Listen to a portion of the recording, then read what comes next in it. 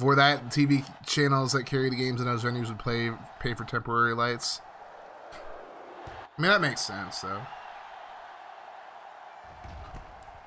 And here's Breesus returning the second act. Kickoff Breesus! What a way to open up the second half. Showing that it ain't easy being St. Breezy. Touchdown Chippewas, 101 yards to the Casa. And CMU takes the lead to begin the second half.